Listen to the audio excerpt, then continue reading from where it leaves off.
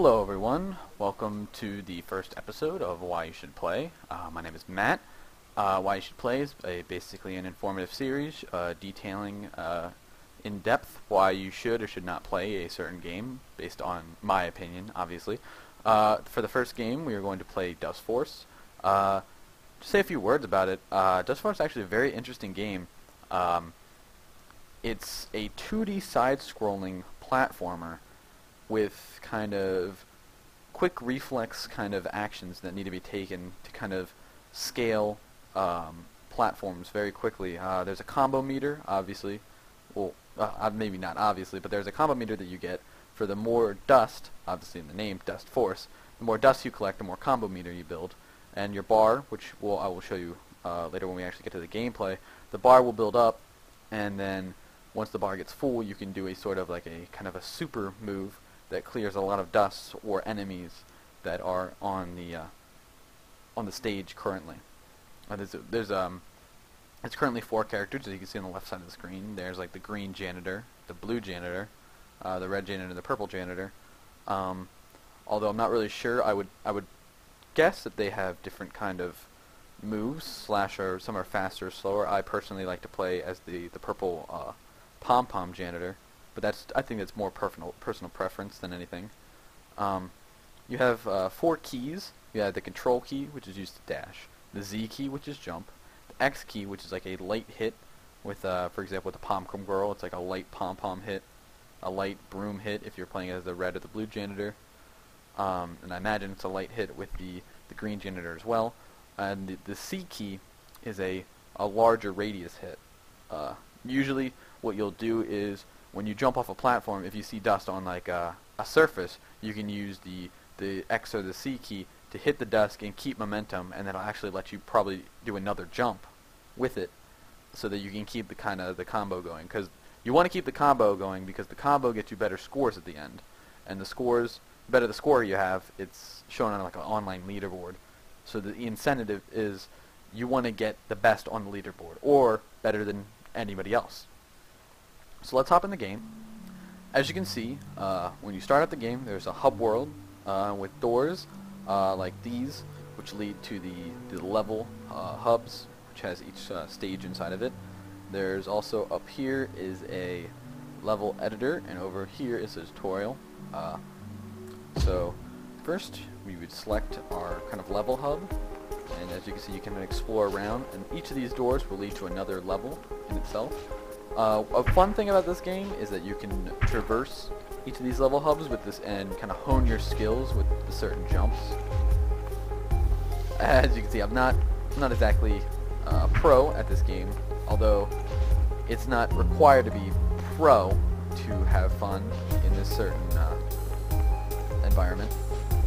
So let's just select a level. Uh, courtyard seems to be fitting and you have the choice of the four characters shown on the title screen. I will go with Purple Girl.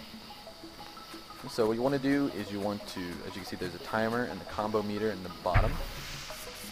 I want to collect the dust on the walls, and that'll build up my combo. And I don't want to drop my combo, because if I drop my combo, I get a not a good score at the end.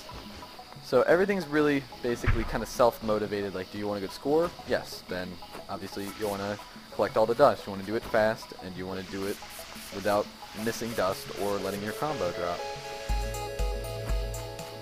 But for the purpose of this video, I'm not going to, obviously, be able to get all the the dust. Very annoying.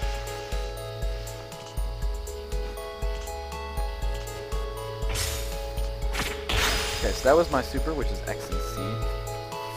Um, this game takes a lot of concentration, so doing kind of a talking while playing is very, very difficult if you are attempting to get kind of any sort of record.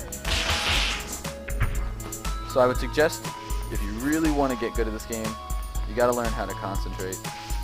Because concentration is very key to playing this game well.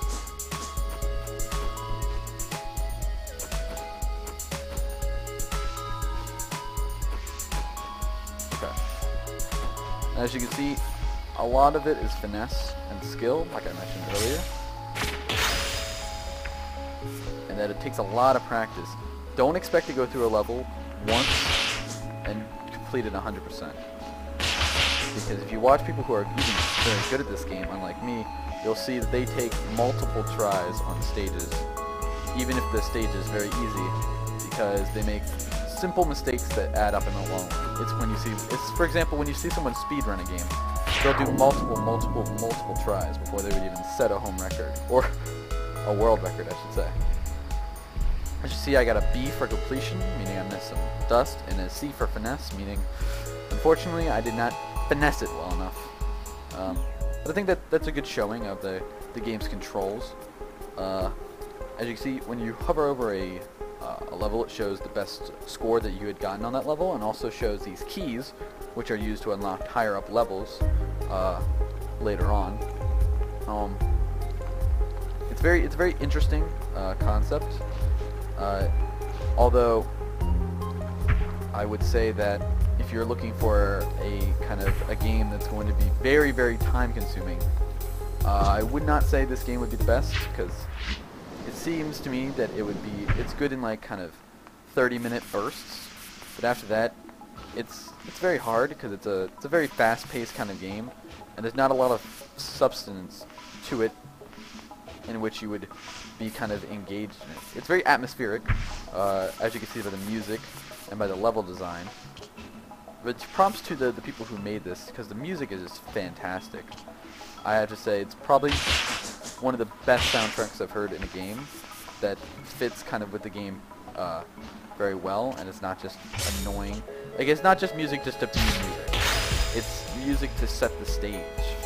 Music to set the mood of it because it's very easy to get frustrated in a, in a game like this. So any sort of high octane music would only serve to kind of greaten the rage you might have. I, I mean, I've had I have had rage, rage uh, moments at this game uh, because sometimes you know you'll saying like, oh man, I hit this button but didn't register, and those can be kind of annoying. And Also, it can be annoying when you miss dust like that, and then you have to drop your combo just to collect it.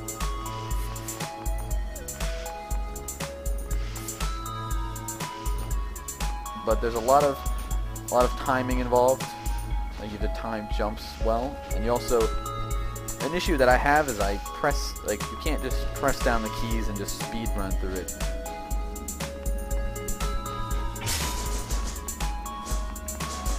You have to actually kind of know what you're doing. You have to do button presses well. Because if you just press random buttons, you can end up not grabbing onto a wall and dropping your combo. Which, as I've been reiterating for basically the whole video, combos are very important. Combos give you all uh, supers, and if you have your super, you can easily get past trickier uh, parts of stages. But you don't want to use your super too early. Like, I would not want to use my super right here, because I believe the end of the level is coming up soon. Now I may be wrong because I haven't played this level too much, but at the end of the level is coming up, and I use my super back there to clean up something that obviously didn't take me that long to clean up.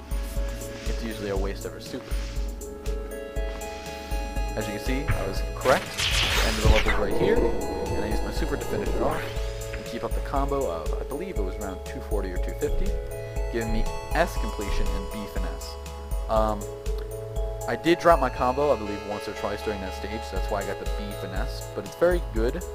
Uh, it's very good uh, if you're just kind of not really super concentrated onto the game itself. Um, as you can see, the leaderboard is on the right. I didn't really mention that. Uh, you can separate it into friends, or you can just keep it on yourself. As you can see, I'm the only friend uh, that's playing this game, although I don't really have a lot of Steam friends, so that could be another uh, reason. But the times, you can see there's a huge difference. I completed mine in my best at 220. These people completed it at 111.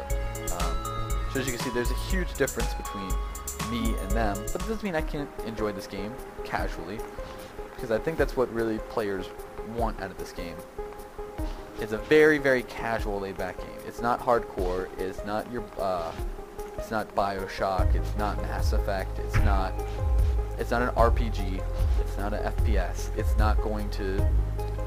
It's not supposed to be kind of that kind of blockbuster. It's going to be kind of simple, kind of casual. Oh, I kind of want to play a game, but I don't want to get too hardcore into it.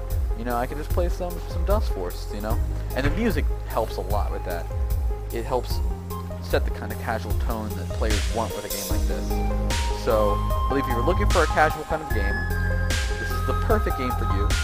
It's very, very inexpensive on the Steam store, very fun. It'll last you a while. It's got a lot of levels. Uh, you can get user-created levels as well. So I believe if you're just looking for a game to have fun, Dustforce is the right thing for you.